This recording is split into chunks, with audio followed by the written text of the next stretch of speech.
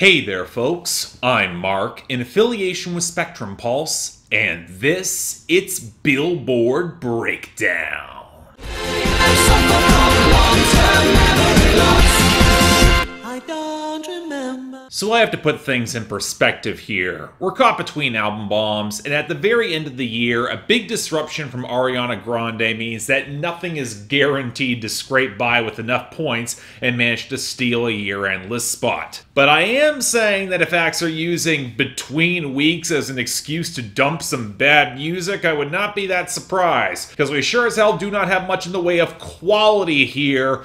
In other words, it wasn't exactly fun. Well, okay, you know what? The top 10 is at least somewhat stable with some quality. By some miracle, Mood by 24kGoldn featuring Ian Dior scraped out a second week at number 1, which is still a weak hold of the position, but holds the power of consistency in all channels, especially radio. Then we got WAP by Cardi B featuring Megan Thee Stallion at number 2, which actually saw a stabilization on the radio to make up for a pretty rough sales week, given that its streaming is still pretty rock solid, especially on YouTube. Then we had Laugh Now, Cry Later by Drake featuring Lil Durk at number 3. Better radio, worse but still solid streaming, and absolutely no sales to speak of. Then we have Blinding Lights by The Weeknd at number 4, which has still not been dethroned at the top on radio, but along the way is still holding okay streaming and sales as well. When it does finally crash, it's gonna be a slower departure. Then we saw a boost for Savage Love by Jawsh 685 and Jason Derulo at number 5.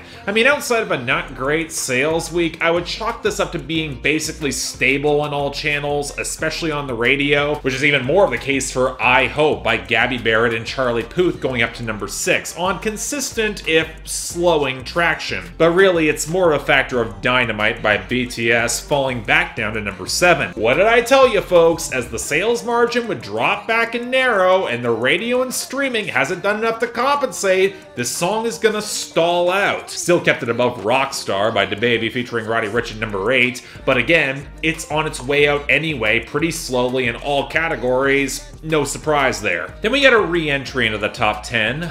Holy by Justin Bieber featuring Chance the Rapper at number 9, and we can't chalk all this up to synergy with the new single this week that I'll be talking about later. I predicted this is going to be bad because it's got consistent strength across the board. Even if it sucks, it's gonna get higher, and the most that we can hope for is that it gets caught up in between years. That's all I'm gonna say there. And rounding out our top 10, we had Lemonade by Internet Money, Gunna, Don Toliver, and Nav, which is an on-demand streaming monster that has pretty much no sales and is only now making a slight run on the radio. Songs that are solely streaming, they are vulnerable to album bombs though, so we will have to see how this will go in the next couple weeks. There is nothing guaranteed. And on that note, our losers and dropouts. And you know what? At least in the latter category, we got a couple wins with both If the World Was Ending by JP Saxe featuring Julia Michaels finally leaving, along with Cool Again by Kane Brown. Both songs were pretty bad, so I'm fine to see them go. Unfortunately, our losers are a bit more of a mixed bag, most predictably on our way out naturally. From 21 Savage and Metro Boomin from their album Bomb, we saw Mr. Right Now with Drake at 42, Running at 50, and Glock in My Lap at 82. From Travis Scott, we saw Franchise featuring Young Thug and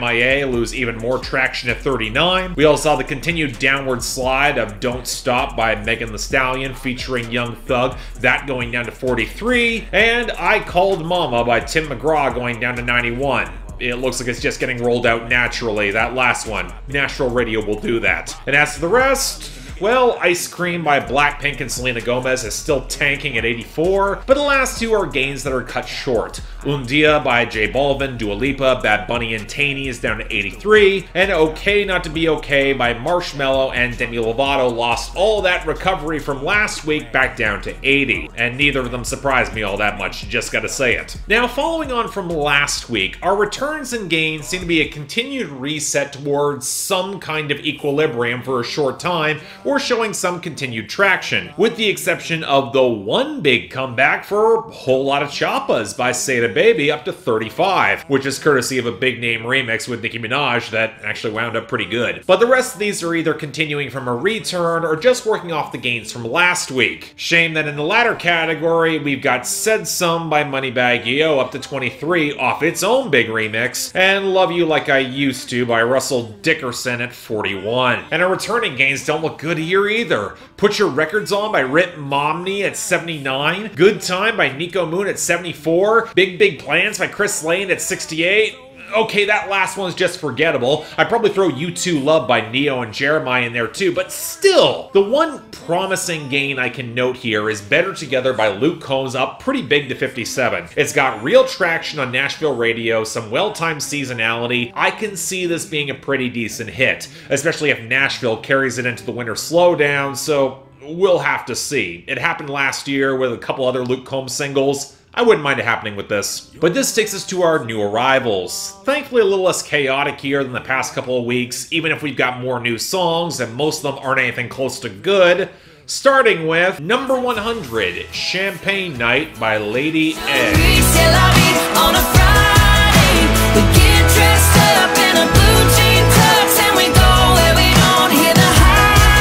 Okay, wait a minute. This isn't a new song by the blues soul singer Anita White who performed under this name for decades.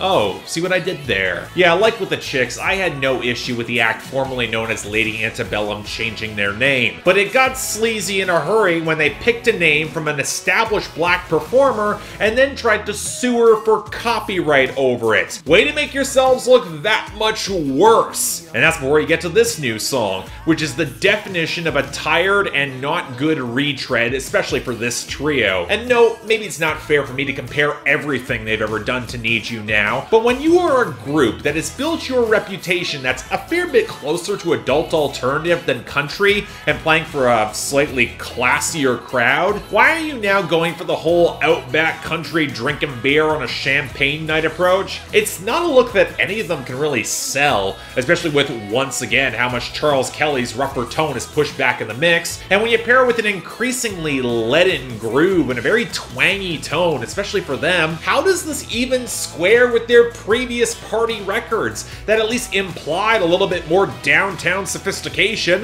Now, that was the theme of one of their songs. So, no, this is a definition of a non starter single and one that reflects a trio that is perilously low on ideas. Uh, not a good sign. Number 97, Pardon by T.I. featuring Lil Baby.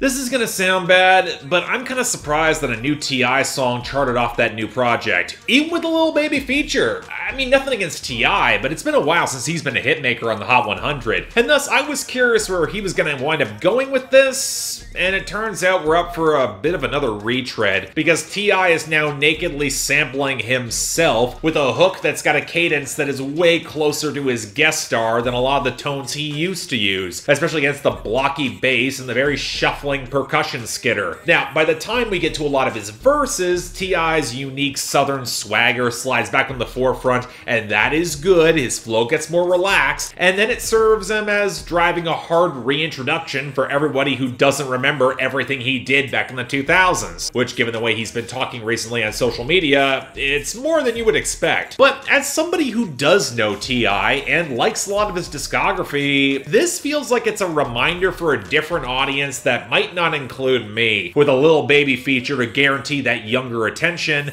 and thus doesn't quite hit as strongly as my favorites, especially from him. I mean, it's not a bad song by any means. In fact, I'd argue it's actually pretty decent, but it's hard not to hear the trend chasing when T.I. used to set this lane. That's all I'm saying. Number 93, Throat Baby Go Baby by BRS Kash. your throat, deep stroke your throat till I make you choke. Throw babies, I'm trying to give them to you. Throw babies, I'm trying to bust all on you. Seems like it's been a while since we've had the generic trap single debuting every other week, but this feels very much like a return to that approach pretty much across the board, just with the reference points updated for late 2020. From a Rod Wave influence, we get the piano backdrop and some of the vocal melodies and the highly questionable mixing, this time with the percussion that just dominates the mix. And then we have our MC, who wants to showcase his rampant horniness by talking about all the girls who are giving him head in rather explicit detail. I mean, I brought this up before, how way too many guys would take all the wrong lessons from the success of WAP and think that it's an excuse for them to get horny as hell in so much songs. But the lessons that they aren't learning is the creativity and the hilarity and the delivery, which is why BRS defaults to ending his second verse moaning and it's nowhere near as compelling or funny as he thinks it is. I mean, I'll admit this guy doesn't sound like as much of a dick as many of his peers. He actually sounds like he likes the women who are blowing him, but otherwise, uh, I gotta say it, there's just not enough here that impresses me or sticks out. So, uh, let's go elsewhere. Number 85, Happy Does by Kenny Chesney.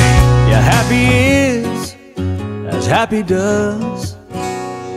Actually quite surprised it took this long for a new Kenny Chesney song to chart, especially when it comes to relaxing beach country that's such an obvious fit for the summer, so why it only hits in the Hot 100 in late October kind of boggles my mind. Anyway, it's very much a Kenny Chesney song in 2020, for better or for worse. The percussion feels a little bit heavy and overstated, especially on the hook, and I'm not wild about all the vocal mixing, specifically the backing vocals, but you know what, for making pretty lightweight cuts about just being happy in a moment despite everything going wrong around you, with a little bit more unique detail than the average Nashville guy.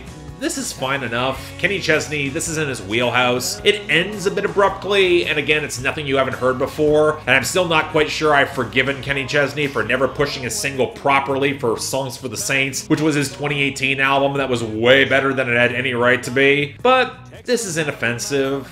It's fine. He's done worse. I'm not gonna complain about this, especially compared to number 81, Cancelled by Larray. Cause Addison gave him fame. Now I'm moving on a sister. I think I'm about to diss her. That ass is looking thicker before her getting bigger. Oh. Okay, let me make this abundantly clear. I've said before that social media drama rarely ever sounds good set to music, most because it's often small minded pettiness or demands a level of nuance that most set to talk about it won't bring. So, by extension, the whole messy and complicated issue of canceling anybody probably translates even worse. And that's before I tell you that this song is from a TikTok star from the goddamn Hype House. And somehow it actually gets worse from there. The song is basically an extended riff on major YouTube drama from the past year or so, with the mugging jackass delivery of somebody who's likely a half step away from winding up in shit himself before asserting his own vague pretensions towards his own success after he flips the beat into Tay K's The Race, something I didn't like when that song originally came out.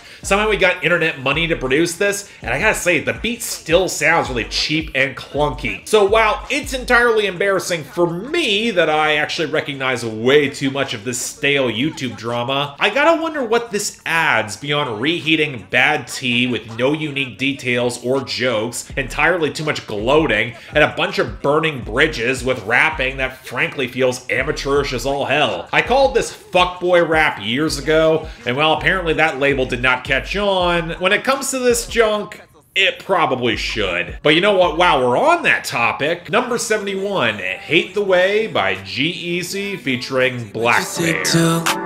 Even after everything we've been through, thought I was the one with all the issues. Okay, help me out here. Why is G-Eazy still a thing? I want to say that MGK, of all people, finished off his career with that disc fight they had back in 2018, but there was a steep drop off between the real hits off The Beautiful and Damn, and at least No Limit was kind of good, and how bad his album tanked in June of this year. Did some of you even know that came out? Anyway, this pairs him up with blackbear for his new album, because if you want to make fuckboy rap, why not go to the source? And congratulations, if you wanted the bitter song airing some lingering drama and feelings between Halsey and G-Eazy, this is it. I mean, I do find it amusing that both sides have accused the other of cocaine abuse when it probably was just the both of them all the time. But even though Halsey made a worse song on the subject matter with Without Me, the existence of this slog somehow gives her even more credence to the point where I might actually be on her side. Let's not mince words. This song would not have charted at all without blackbear's hook and the washed out, dreary guitars behind the trap skitter. Because G-Eazy's consistent problem since the very beginning, it's back at the forefront. He's miserable, he's brooding, but he's so completely boring about it. You reference Courtney Love and Kurt Cobain and some of the clunkiest phrasing possible in the first verse, and you can't sell any similar drama beyond just moaning about how she's clearly eclipsed you in every single way. Hell, outside of a couple scattered moments, I don't even think Halsey had that good of a past couple of years, and she blows G-Eazy out of the water, especially as blackbear remains a non presence on the hook. He had his one good moment with, what do you know, MGK, and now he's back to being crap. I guess the best thing I can say about this is that it's more utterly tedious than in your face bad. But if this is the comeback G's he's got planned, it's a failure to launch. Next, number 52, Your Mind Still by Yung Bleu featuring Drake. Me, cause you mine still. Uh, and I don't wanna go. Okay, can we sample a different Sting song besides River of Dreams? Especially when the last major sample of it in Lucid Dreams, it's still charting globally right now. Anyway, I guess I shouldn't be all that surprised that Drake is teaming up with Yung Bleu, an Alabama trap croomer that I'll admit I previously did not recognize, but it's actually built a pretty impressive following outside of chart success, with this now being his breakthrough. Now, the interesting thing is that Drake actually sings his verse on the song, and again, I actually don't think he sounds all that out of place here. And even if I think the hi-hat rhythm and the percussion does not quite complement a lot of the groove here, I actually really do like Yung Bleu's delivery as a little bit more soulful, even within the auto-tune. He sounds really damn good here. Shame that the content of all of it is even more concern trolling, where even though this girl has plainly moved on for a new guy, they're so thoroughly self-assured they can win this girl back over, and it just feels incredibly manipulative, especially in Drake himself trying to recontextualize a hug that this girl gave him at the club. And there's no real self-awareness either that this is as skeevy as it is, which just sucks away any promise it might have. The one thing I will give it is that Yung Bleu seems to have some something promising going forward, and the Drake cosign has been known to work, but man, this should be better. Just saying. And finally, number 14, Lonely by Justin Bieber featuring Benny Blanco. Oh, maybe then you'd know me. I would really love to know why people are still infatuated with the non-presence that is Justin Bieber. So much so that after his last album was a boring, crappy slog, we're getting more singles as he tries to push another one. This time with Benny Blanco and the more notable name behind the scenes being Finneas, Billie Eilish's brother, and a producer who could probably make Bieber sound at least somewhat tolerable in comparison with most of his production. And for the most part, he does a pretty okay job for a pretty minimalist song. Very spare keyboard melody. It's clearly designed to center Bieber's angst here as he muses on being famous and loved by everyone, but also having being hated by everyone as just a kid for all of his missteps and bad decisions, and that wears on the consciousness and he feels lonely. And I'll give him this. Being a child star is rough on anybody, especially in teen pop and an exploitative industry. I do have some sympathy for Justin Bieber here. It's hard to be the most hated person in the world, but not much sympathy, and I got two reasons why. The first is that the loneliness that Bieber is trying to emphasize doesn't really feel accurate to reality. He had a lot of mentor figures and his family around him, and a famous girlfriend in Selena Gomez for years that he treated pretty badly. And I'm not so quick to exonerate him for all the crap he's pulled, especially when by the end he came out on top. And he's relatively unapologetic too. This isn't I took a pill in Ibiza or every time, Bieber. Even when you're lonely, you've still got big name collaborators working with and around you. And the other factor is, well, uh, he hasn't grown or changed that much. And while his vocals here are produced better, they still reflect the same vacant lack of personality that's frankly been an issue for around a decade now. So yeah, you know what? This might work on some of the fans. It's fine enough, but have to say of it, some of us might know a little better. And man, this week sucked. Now, best, honestly, it's a toss up between Kenny Chesney and T.I. Both songs are decent at best. And while they're both recycling, I do like the hook and groove of Happy Does a bit more overall, so he's gonna get the best with honorable mention to Pardon with Lil Baby. Worst the week, on the other hand, is Piss Easy, cancelled by Larray for being pretty damn unlistenable, with dishonorable mention going to Hate the Way from G-Eazy and blackbear. It's kind of impressive to be that boringly unlikable, I gotta say it. Anyway, next week, we got a bit before Ariana Grande completely takes over, but positions will probably break through in a huge way, so stay tuned for that. But until then, I'm Mark, you're watching Billboard Breakdown, affiliated with Spectrum Pulse.